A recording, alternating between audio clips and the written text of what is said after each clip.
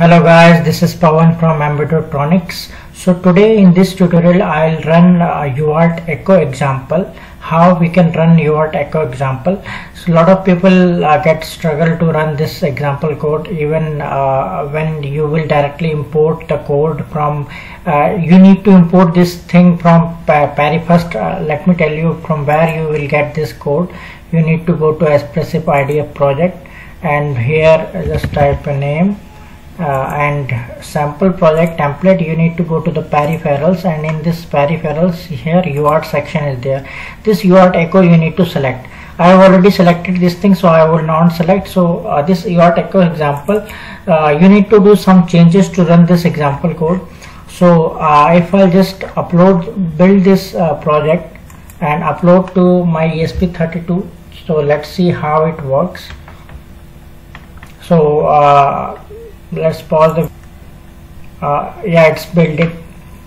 Uh, I, I, think I have previously built this thing. That's why it's built uh, so instantly. Otherwise it will take a time uh, to build this thing so now I'll just upload this code. Uh, let's uh, just select the COM port. COM4 is selected. And just clean this thing. This is our docklight tool. This is serial monitor. So any serial monitor you can choose now I'll just upload this code. So here I am uploading.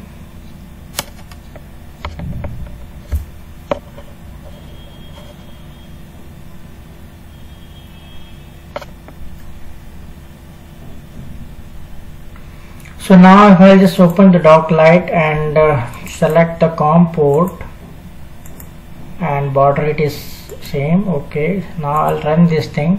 So I'll just uh, see CPU start starting scheduler on app CPU if I'll just uh, give this command double A then I'll not get uh, echo back this double A.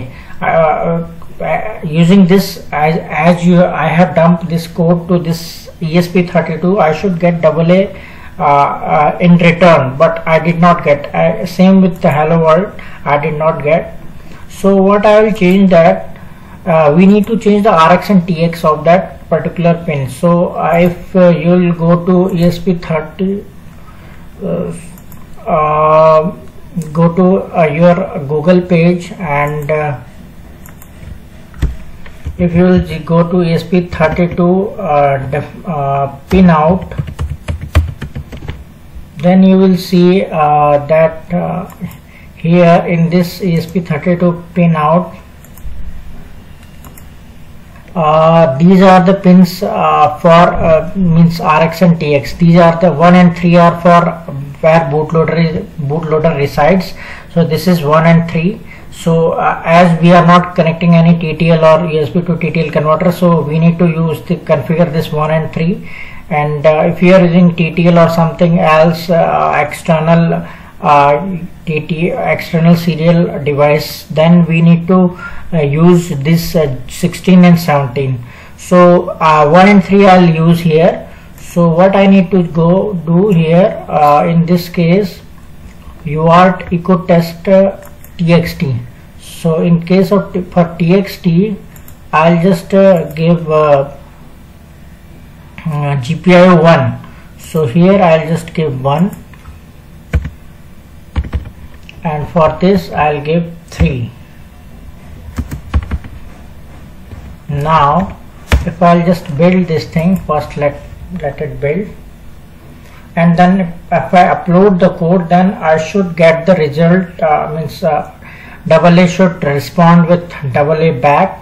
So now if I'll just uh, close this Docklight clear this clean this Docklight tool and upload it to my board now I'm uploading.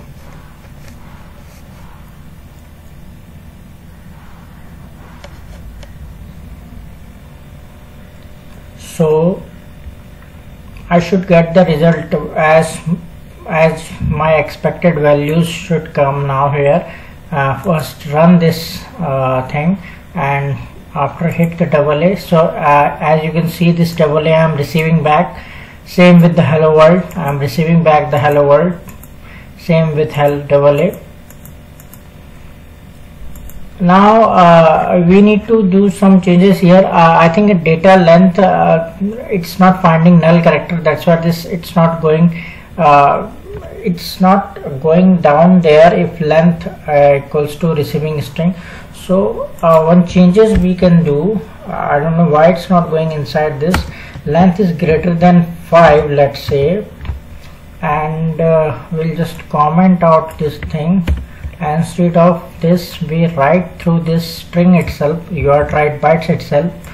We will say uart write bytes equal write putnam and here we will write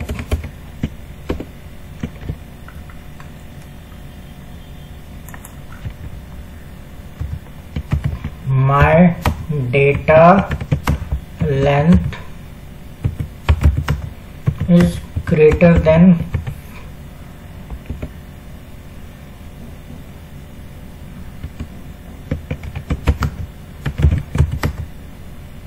5 and here we will give the length. So uh, I think 40 we can give.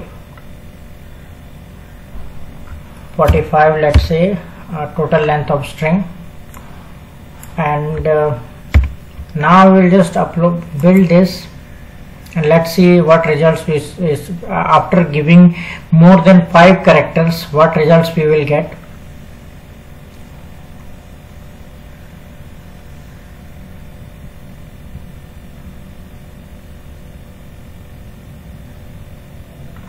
So now we will just upload to our board oh, our uh, Docklight tool is still not closed.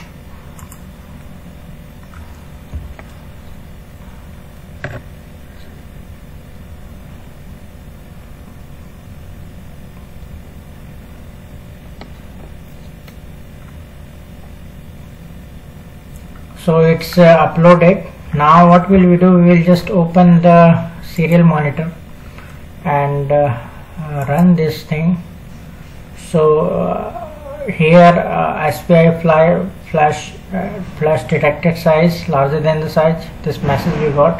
Now if I'll just push the double A and I'm echoing back this thing you can say you can see. Now hello world is this is more than greater than 5 character. I hit this thing. Then hello world is printing and as well as my data length is greater than 5 because we are uh, just uh, we are just going here and uh, uh, it's going inside this uh, condition itself. So this let's say just give it 36 only not more than that. Upload it to the board because unnecessary thing also we are printing